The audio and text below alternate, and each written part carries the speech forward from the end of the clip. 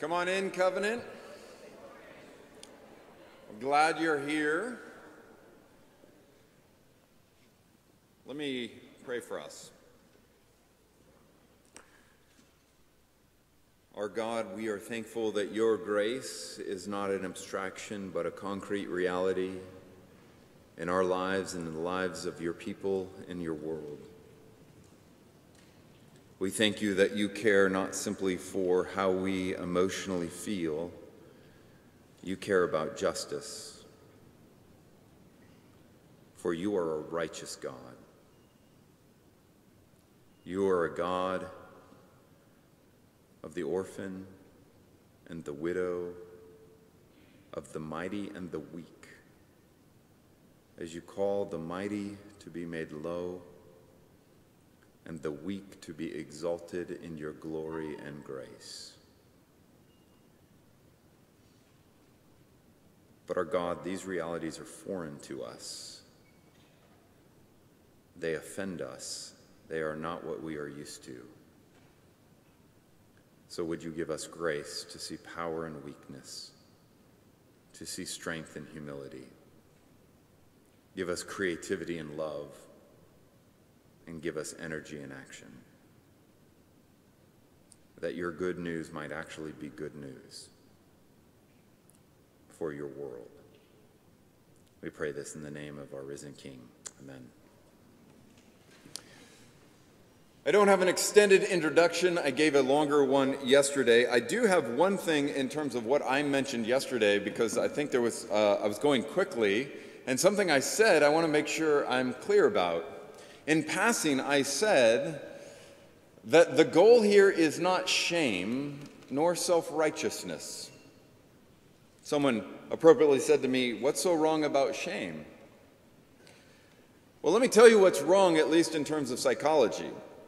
And we can debate this in terms of uh, brothers and sisters from the East.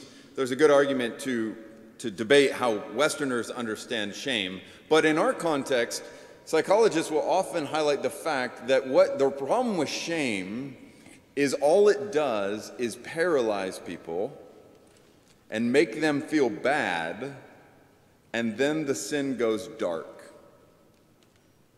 And we hide. And the argument is in the Christian tradition, we're not about shame, we're about guilt. Because the evidence is guilt, when you feel guilty, you want to do something about it. And in the grace of the gospel, we can be made aware of our real guilt, seeking God's forgiveness and grace, and then empowered by His Spirit, we go about the work of His kingdom. That's what I'm interested in. That's what we're interested in. So, Today, we have the last in our series from our special guest, Jamar Tisby. As you know, uh, a graduate of Notre Dame, RTS Jackson, currently finishing, uh, working to finish his PhD, University of Mississippi. His new book, The Color of Compromise, coming out in January. He is the president of The Witness, uh, a black Christian collective. Please join me in giving a warm welcome to Jamar Tisby.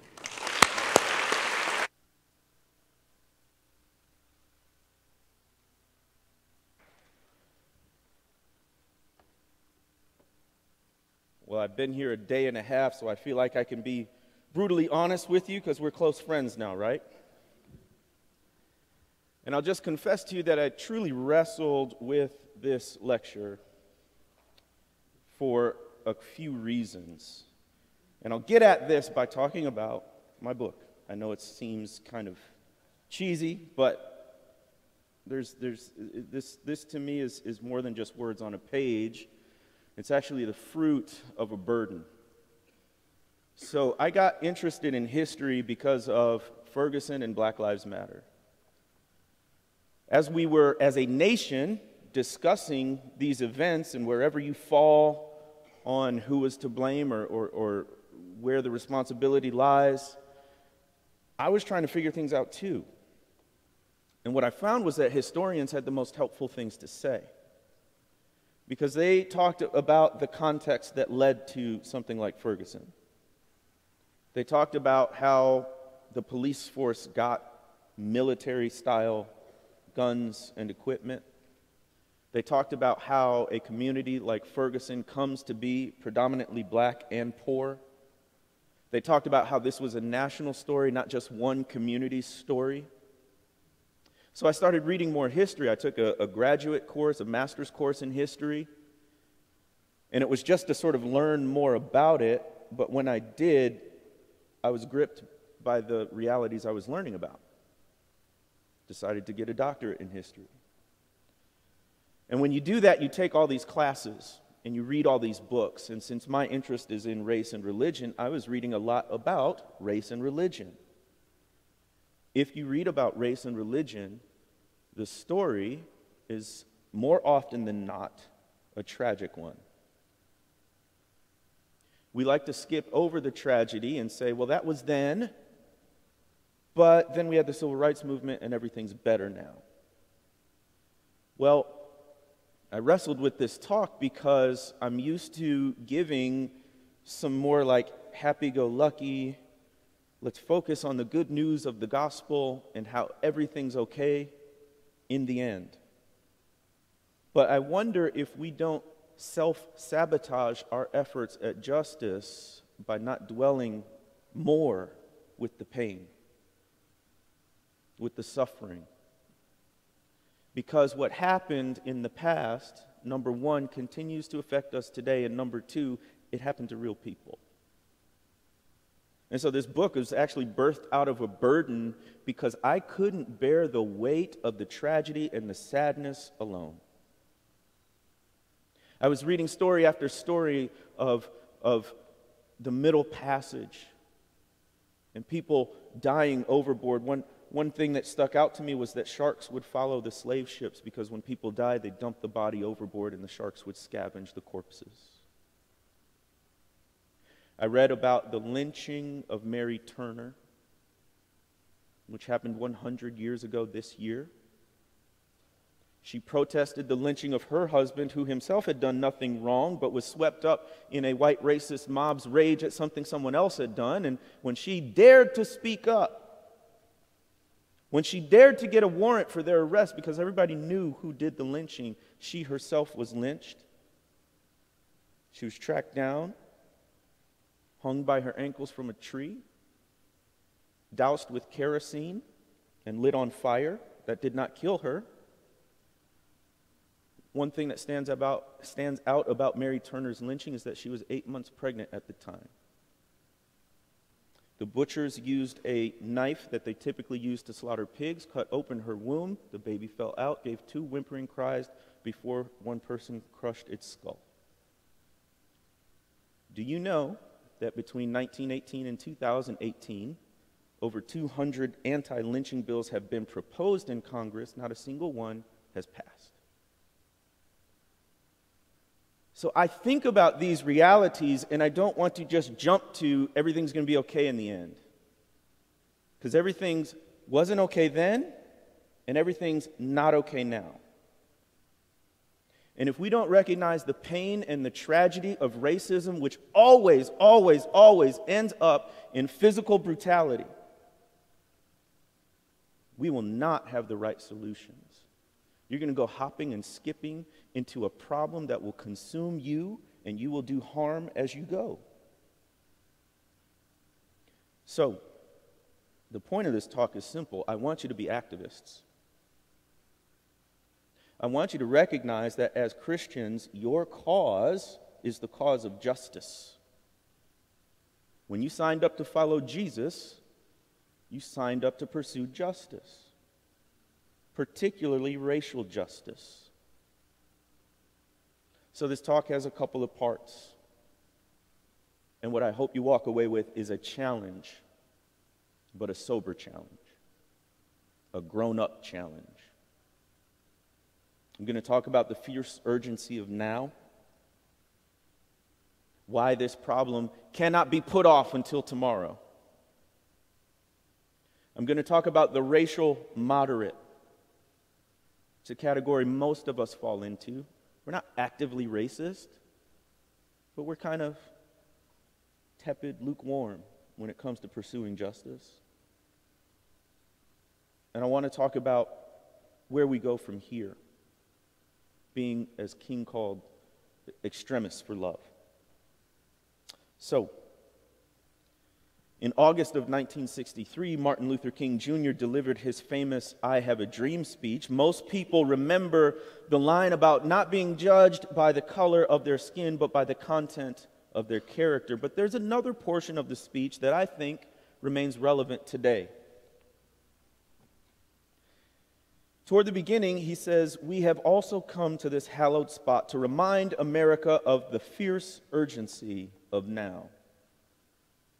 This is no time to engage in the luxury of cooling off or to take the tranquilizing drug of gradualism. Now is the time to make real the promises of democracy, he said.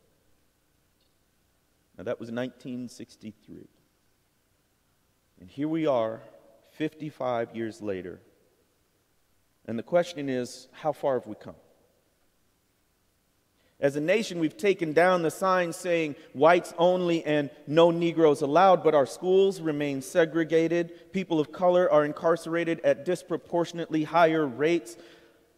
Black people have a unemployment rate that remains about double of white people and when it comes to opposing racism have americans and more specifically christians have we overdosed on what king called the tranquilizing drug of gradualism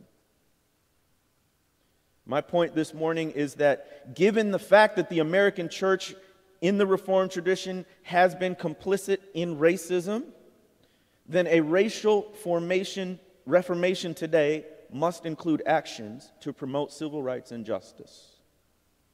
In other words, the church has missed it so often in the past that it has demolished credibility with people of color and with non Christians.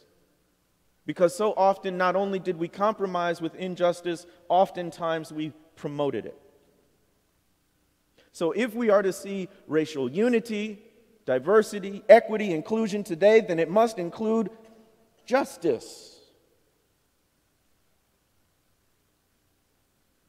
And yet, we remain stuck in 2018 because, by and large, vast segments of the American church, particularly the white church, fails to recognize the systemic and institutional aspects of racism. The facts that the courts and the legal system were designed to oppress and not liberate black people in many instances. I want to walk through a couple examples and my question with all of these examples is where was the church? Now, immediately you might be thinking, well, there are always exceptions, and there are. Quakers, Moravians, different branches of the church. But in terms of the broad church and the identity of the American church, where were we? So, even written into the Constitution there was a sort of waffling, to put it nicely, on slavery. Article 4, Section 2, Clause 3, aka the Fugitive Slave Clause, said that if a slave escaped and crossed state lines, then that slave could be caught and returned to his or her owner. Now, what's interesting is they never used the word slave or slavery, but it said, quote, persons held to service or labor which meant a slave, and that's in the Constitution. What that meant, practically speaking, was that even as a black person, if you were brave enough, creative enough, and fortunate enough to escape the plantation, then somebody could capture you and send you right back. And do you know what would await you?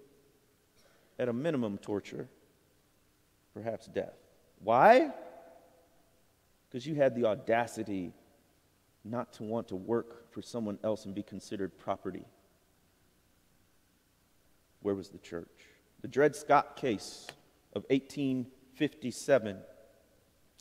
Dred, Dred Scott sued his slave owner for freedom because he had lived with his owner as a servant in free states in the North. So Scott's figuring, well, I'm in a free state.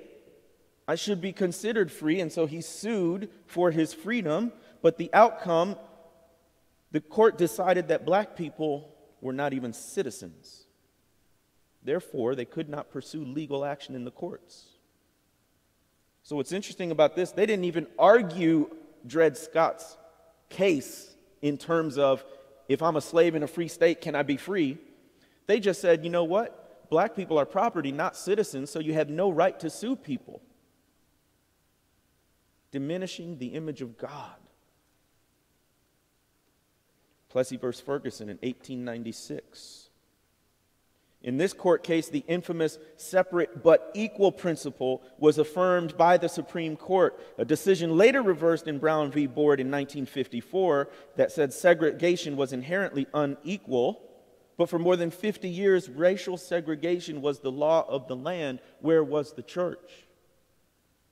In my first talk, I, I showed you the, the, the speech given by G.T. Gillespie in 1954 in response to the court's order of desegregation. And what was the response of some Reformed Christians was to argue from the Bible that segregation was the proper way. And we could go on and on. In the 20th century, the New Deal, which was restricted mainly to white men, housing discrimination, over policing uh, of poor areas, on and on and on and on. Where was the church? So often we have followed society instead of leading society when it comes to racial justice. And you know what happens? Is we get labeled hypocrites. What happens is when Christian leaders, especially white, reformed, and evangelical leaders, start talking, people of color don't believe them. Because we've had centuries where the church could have intervened for the sake of the human dignity of other people and instead cooperated with injustice. Frederick Douglass, who was a slave and escaped to freedom, put it this way. He wrote his autobiography, and throughout his autobiography, he was very critical of American Christianity. But Frederick Douglass himself was a Christian. And so he put in the appendix an explanation to say, listen, I've been really critical of a certain type of Christianity. This is what he said. What I have said respecting and against religion, I mean strictly to apply to the slaveholding religion of this land, and with no possible reference to Christianity proper. For between the Christianity of this land and the Christianity of Christ, I recognize the widest possible difference. So wide that to receive the one as good, pure, and holy is of necessity to reject the other as bad, corrupt, and wicked. I love the pure, peaceable, and impartial Christianity of Christ. I therefore hate the corrupt, slave holding, women whipping, cradle plundering, partial, and hypocritical Christianity of this land. Indeed, I can see no reason but the most deceitful one for calling the religion of this land Christianity. What happens when the church fails to fight for justice? We lose our witness. And marginalized people and oppressed people of all kinds see the hypocrisy of saying we love God, but demonstrating no tangible, material love for our brothers and sisters. It's not about good feelings. It's about fighting the systems that create the pressure that pushes people down and out in society. And Frederick Douglass put it well. Now, here's the thing I would presume most people in this room are not racist actively. It's not that you don't like people who look different or come from a different culture. That's not the problem. You're not opposed to black civil rights. You're not opposed to justice. The problem with many of us American Christians is that we don't want civil rights and justice to be costly. We don't want to sacrifice for the sake of righteousness. So, what happens is we say we want these good things for ourselves and other people, but we try to pursue them in a moderate way. But I'd like to propose to you that moderation, when it comes to injustice, is not a virtue. Moderation with food, sugar, those kinds of things, that's good. But moderation when it comes to sin, I don't think that's a virtue. In Martin Luther King Jr.'s letter from a Birmingham jail, one of the most well known parts is where he critiques the white moderate. I've actually changed it a little bit to be the racial moderate, because as I'll explain in a moment, there were black people who were moderates as well. But here's the passage from the letter. He said, I must make two honest confessions to you, my Christian and Jewish brothers. First, I must confess that over the past few years, I have been gravely disappointed with the white moderate. I have almost reached the regrettable conclusion that the Negro's great stumbling block in his stride toward freedom is not the white citizen's counselor or the Ku Klux Klanner, but the white moderate, who is more devoted, devoted to, quote, order than to justice, who prefers a negative peace, which is the absence of tension to a positive peace, which is the presence of justice. The moderate who constantly says, I agree with the goal you seek, but I cannot agree with your methods or direct action.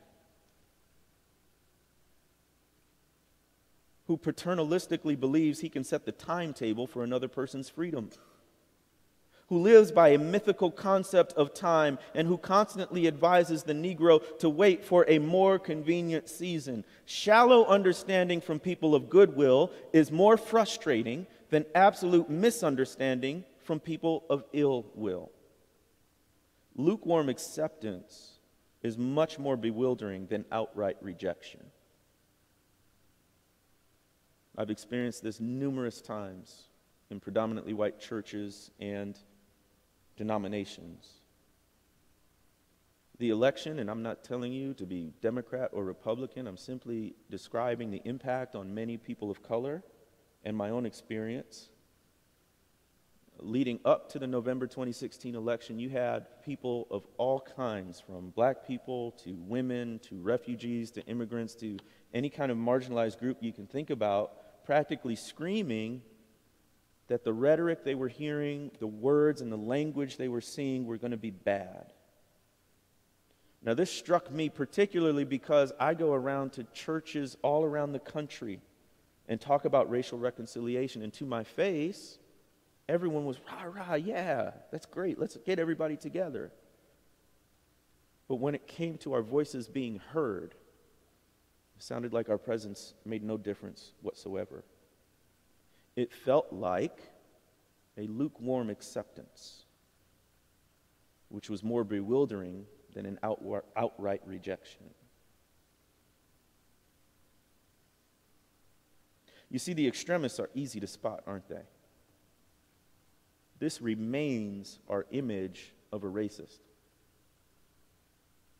The Ku Klux Klan burning crosses, bombing churches, and killing little girls if that's our only definition of racism, then we've missed it. We've missed the racial moderate.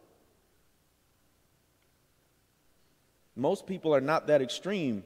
Most people are much more reasonable than those kinds of racists. So it becomes easy to point the finger at the most extreme forms of racial terror and say, those are the real racists. But King troubles those waters. He says that extremists present a clear and present danger, but the most harmful enemy is the one you thought would be your friend the people who are more devoted to order than to justice. So they fear protests and demonstrations, not because of the protesters, but because of the violence or the breaking of the law. The moderates who prefer a negative peace rather than a positive negative peace rather than a positive peace of justice. In biblical terms, they are the ones who preach peace, peace when there is no peace. Moderates who paternalistically believe they can set the timetable for freedom, the ones who advise caution and a gradual approach to addressing injustice rather than stopping the evil right now. What's so interesting is that King in his letter from a Birmingham jail, was responding to a letter that he received. Now, we always pay attention to King's letter. I think it's interesting to pay attention to the letter from the racial moderates. Listen, they said, We recognize the natural impatience of people who feel that their hopes are slow in being realized. They said, We formally pointed out that hatred and violence have no sanction in our religious and political tradition. They said, when rights are consistently denied, a cause should be pressed in the courts and in negotiations among local leaders, not in the streets. What stands out is that these racial moderates are so reasonable. These are not foaming at the mouth racists. What they're advising King is work it through the courts. You know what the courts did? Courts did Dred Scott. Courts did Plessy v. Ferguson. Courts failed to convince, convict white lynchers. They failed to recognize that the courts didn't work, in other words. And they were advising gradualism because they didn't like the marches they didn't like the fire hoses and the dogs and the picketing and the boycotting, but there was nothing else that was working. And so King said the moderates are, are actually our stumbling block in the stride toward freedom. Now, a word on black moderates, because it's not just white people. Not all black people or black Christians appreciated Martin Luther King's brand of direct action protest. For instance, in 1961, King had to leave his denomination, the National Baptist Convention, which is the largest black Baptist denomination, and help form the PNBC, which stands for Progressive National Baptist Convention a denomination that was supportive of vigorous public protest and instigating confrontation through nonviolent means in order to change unjust laws. So even King faced opposition from other black Christians. Historians estimate that maybe at the high end, 10% of black churches were actually involved in the civil rights movement actively. Many others may have su- supported it directly by providing verbal or perhaps financial support, but make no mistake, not all black Christians were out marching in the streets. Ministered were ministers, black ministers were often the most educated and financially stable members of the black community, and they had a lot to lose if they angered white people. So there is such a thing as a black racial moderate both then and now. But let's go back to the Bible. It strikes me that when Jesus was talking to religious folk, he was sometimes very harsh. When he was talking to religious folk, he sometimes gave really, really sharp warnings. For instance, in, in uh, Matthew 23, he says, Woe to you, scribes and Pharisees, hypocrites! For you build the tombs of the prophets and decorate the monuments of the righteous, saying, If we had lived in the days of our fathers, we would not ta- have taken part with them in the shedding the blood of the prophets. In other words, they think they're righteous because they're religious. What if we applied that to race and justice? What if we exercised a little creativity and thought about what Jesus might say to the church in America when it comes to race and justice? What if Matthew 23 were to read, Woe to you, Reformed Christians and racial moderates, hypocrites! For you hold immense to commemorate civil rights activists and read books about the martyrs of anti racism, saying, if we had lived during the civil rights movement, we would not have taken part with the racists in shedding the blood of the protesters. Thus, you witness against yourselves that you are sons and daughters of those who murdered Martin Luther King Jr. Fill up then the measure of your slaveholding and segregationist fathers and mothers, you racists, you racial moderates. How are you to escape being sentenced to hell? Therefore, I send you social justice warriors and community organizers and activists, some of whom you will put in jail and lynch, and some you will call Marxists in your churches and troll on social media, so that you may so that on you may come all the righteous blood shed on earth, from the blood of the righteous Medgar Evers to the blood of Emmett Till, the son of Mamie Till Mobley, whom you lynched in Mississippi. Truly I say to you, all these things will come upon this millennial and Gen Z generation.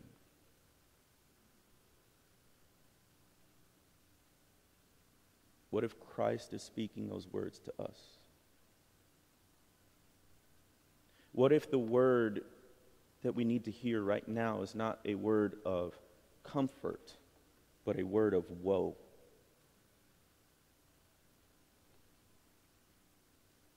Today in 2018, more than half a century after King's letter from a Birmingham jails, we must ask ourselves do we sense the fierce urgency of now? Are we the racial moderates of today? We must view civil rights activism and justice as part of the modern racial reformation. So, what do we do? In King's letter from a Birmingham jail, he talks about becoming an extremist for love. King said, And now this approach, civil disobedience, is being termed extremist. But though I was initially disappointed at being categorized as an extremist, as I continued to think about the matter, I gradually gained a measure of satisfaction from the label. Was not Jesus an extremist for love? Love your enemies, bless them that curse you, do good to them that hate you, and pray for them which despitefully use you and persecute you. We need to move from being racial moderates to extremists for love.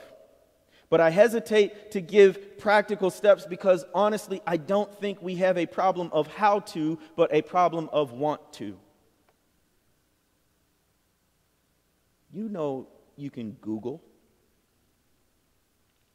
you know you can figure out what to do to fight racism and to promote justice.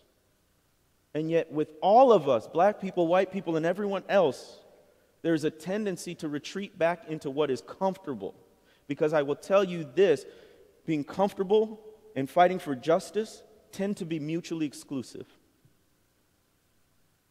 If comfort is your goal, then just don't even pretend that you want to fight for justice. Just let us know where you are. If justice is your goal, then prepare to be uncomfortable. And I know the feeling. I still don't consider myself an activist, although I've tried to take risks for the cause of justice. I know what it's like. The only thing I can tell you is here's where faith comes in. Jesus said, I'll be with you. But you cannot believe that promise unless you go to where he sends you. I can tell you that Jesus has become more real to me since I've taken risks for racial justice than I ever knew possible. So I'm, I'm, here's, here's the good news. If you want to taste the sweetness of Jesus more than you ever had before, then risk for the sake of justice. You know why?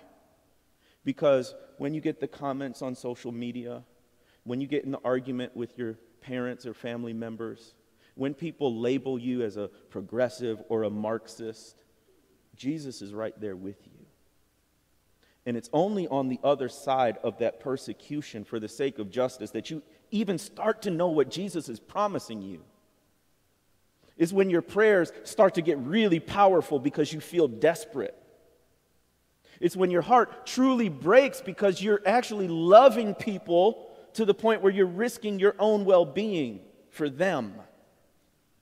And so I have nothing to give you but the promise that Jesus gave all of us in the Bible that He will never leave you and He will never forsake you.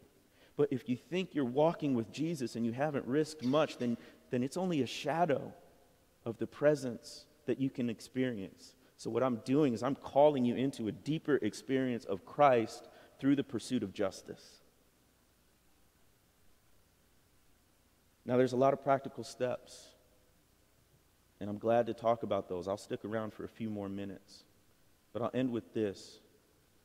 We talked about grief at the beginning, or guilt at the beginning. I think guilt can be good. We got a linguist professor in the house, so forgive my loose language. But there's something called, like, let me talk to the white students for a moment. There's something called white guilt, which may not be healthy because that kind of guilt is fundamentally self centered. Guilt means you feel bad that your own self image is more negative than you thought. You feel guilty that you did something wrong. You want to fix it, but not for the sake of someone else. You want to fix it so that you feel better about yourself. What I hope is that we experience what I talked about in the first talk godly grief. Godly grief recognizes your own part in injustice and you feel that, that guilt, but your grief is also because you've done harm to someone else.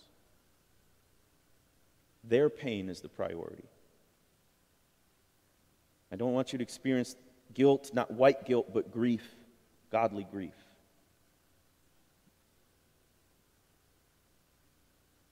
But you're in a good position here at Covenant to do something. I haven't been with you long, but I've had deep experiences, long conversations with faculty and administration, sat in on a couple classes this morning that was wonderful. And what I observed is that you can take advantage of your liberal arts education. Dr. Weichbrot, Dr. Corbett, Dr. Jackson, Dr. Green, Dr. Kapic, staff like Christiana Fitzpatrick, your administrators, and so many others take their classes. Go to their office hours because they're thinking about the right things. Use this season to learn and to become aware and to get involved if you possibly can. You have all you need here. And I'll leave you with this. Your, your motto is in all things Christ preeminent. To answer all these questions about race and justice, you have it right there in those few words. How do we do this?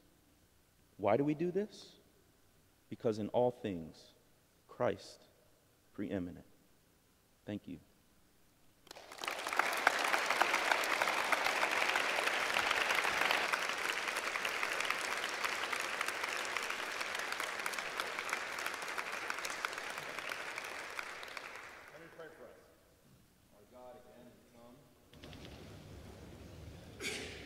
Give us the courage to be honest with ourselves and with others. Protect us even from self centered guilt. Help us to glory in your cross and resurrection, that we might be about your kingdom, the good of others. We thank you for your love and your grace. Be with us this day and in this season. In Christ's name, amen. Be free.